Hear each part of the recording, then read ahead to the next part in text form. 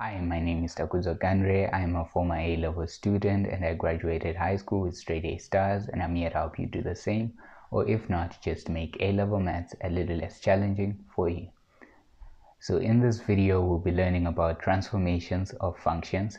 The syllabus point that we'll focus on states that we should understand and use transformations of the graph y equals f of x given by y equals f of x plus a y equals f of x plus a, y equals a times f of x, and y equals f of a times x, and simple combinations of this.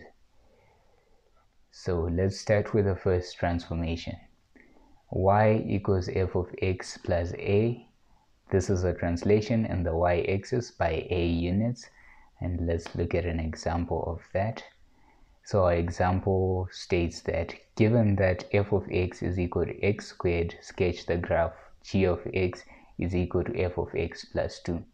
So this is a translation in the y-axis by 2 units. So as you can see here, the gray graph is the graph of f of x.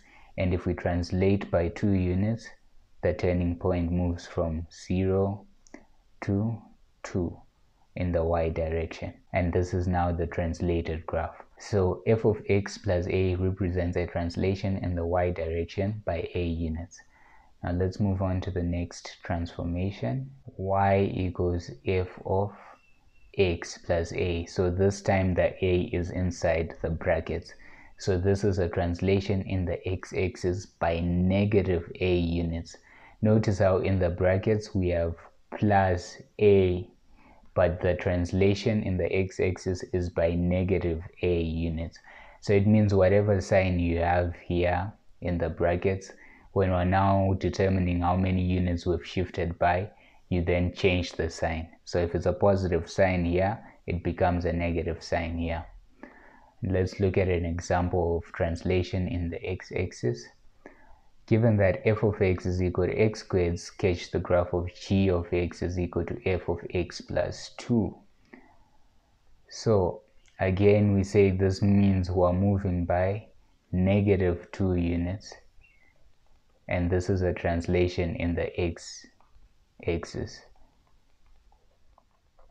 So as you can see, our graph of f of x is the gray graph so if we start here at 0 and we move by negative 2 units in the x-axis, we end up here. And this is now our transformed graph. So g of x is a translation by negative 2 units in the x direction from f of x. Now let's move on to the next transformation. y equals a f of x. So this is a stretch in the y-axis by a stretch factor or sometimes referred to as a scale factor of a. And let's look at an example of that. Given that f of x is equal to x squared, sketch the graph g of x is equal to 2 f of x. This means that we're stretching our graph, we're stretching f of x in the y-axis by 2 units. So the gray graph is the original graph, that's f of x, and if you stretch it by a scale factor of 2 you end up with g of x. And so g of x is a stretch in the y direction by a stretch factor of 2 from f of x. Now let's move on to the next transformation. Y equals f of a x. So now the a is inside the bracket. So this is a stretch in the x-axis now. And the stretch factor is 1 over a so whatever you have in the bracket in this case it's ax so it means that our scale factor will be 1 over a. So say you had f of 1 over ax your scale factor would be a. So you take the reciprocal of whatever you have inside the bracket. Now let's look at an example given that f of x is equal to x minus 2 squared, g of x is equal to f of 2x. So the gray graph is f of x and now if we stretch it in the x-axis you end up with the blue graph. So g of x is a stretch in the x direction by a stretch factor of half from f of x.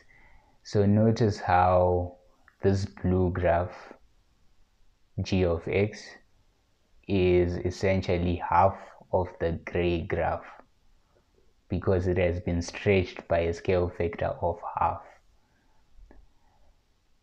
Okay, so now let's put all these transformations together. So this is a f of bx plus c plus d. So the a represents a stretch in the y-axis.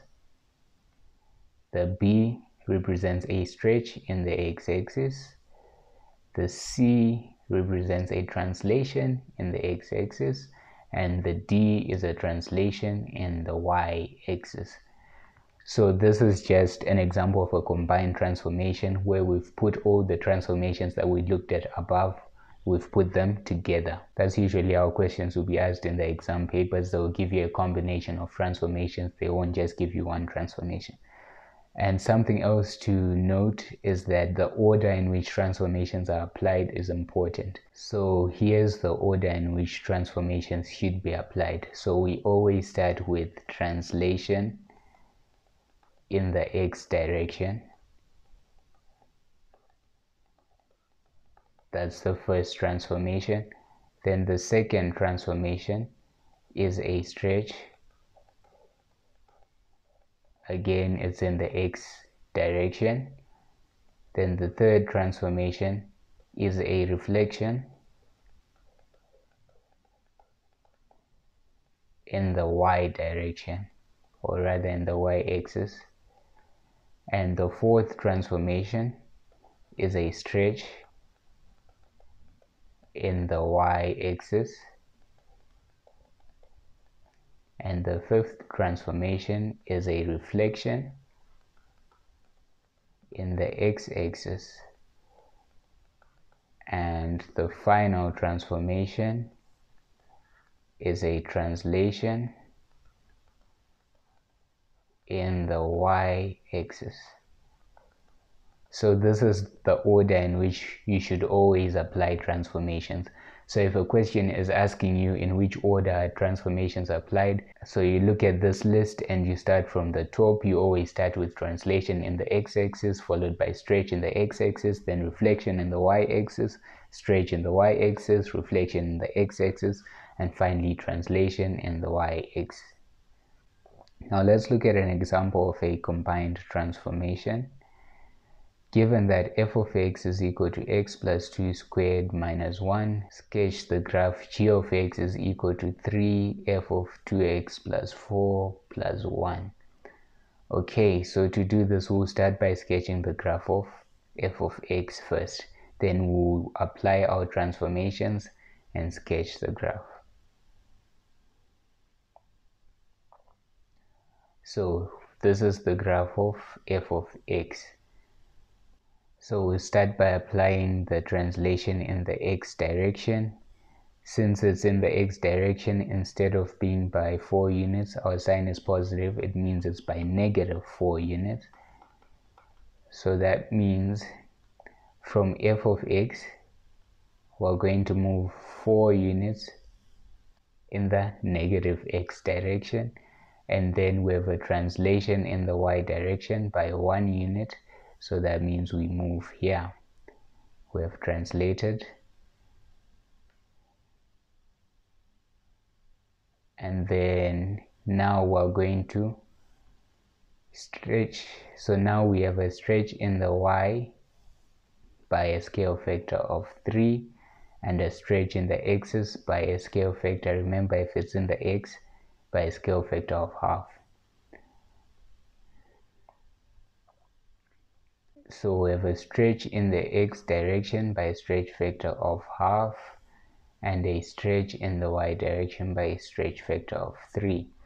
If you apply those transformations, you end up with g of x and that would be our final answer here. That's y equals g of x. Now let's look at some past paper questions. Number one, the graph of y equals f of x is transformed to the graph of y equals 1 plus f of half of x.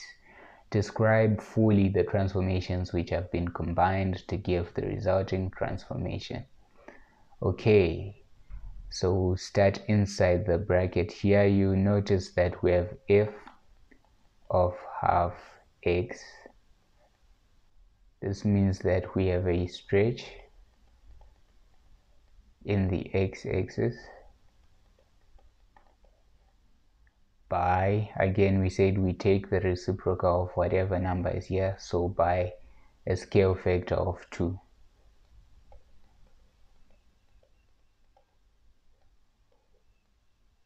so that's the first transformation that we have. And then this one here that represents a translation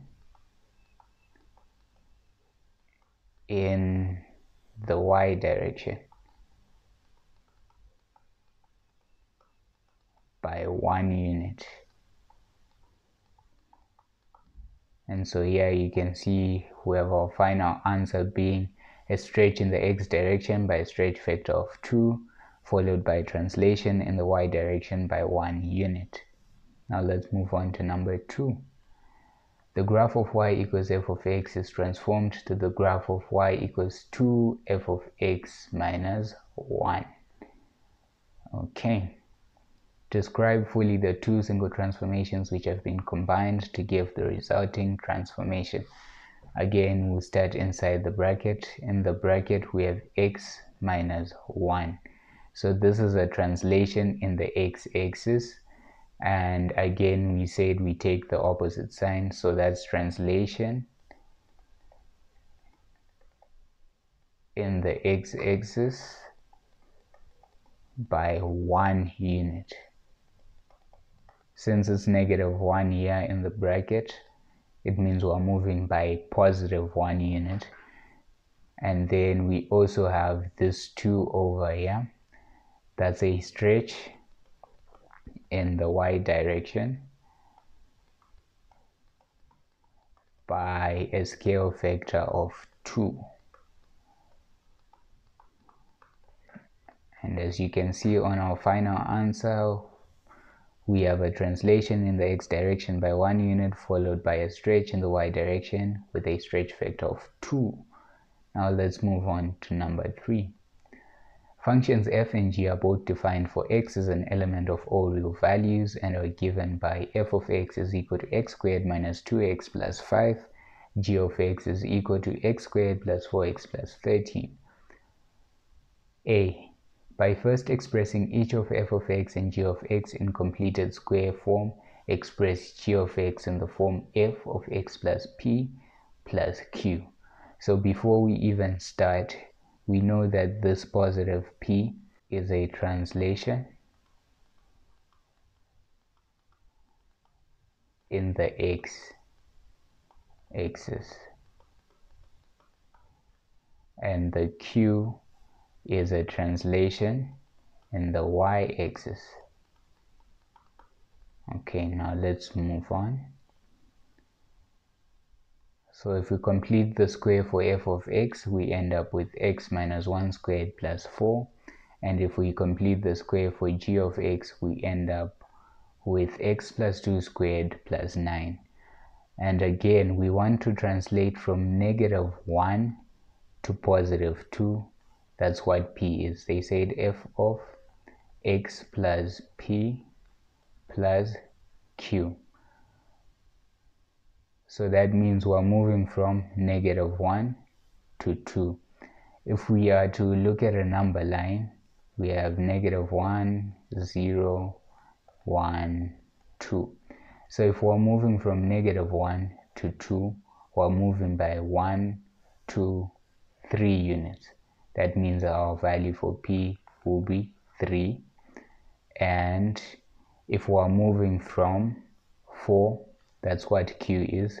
From 4 to 9 we are moving by 9 minus 4 is 5 so q will be equal to 5 and that will be your answer there. We've got p is 3 q is 5 so g of x is equal to f of x plus 3 plus 5. Describe fully the transformations which transform the graph of y equals f of x to the graph of y equals g of x. So g of x is equal to f of x plus 3 plus 5.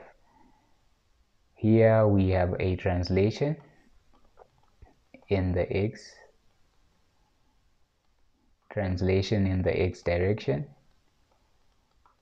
by, again we said we take the opposite sign. So since it's positive 3 here, it means by negative 3 units.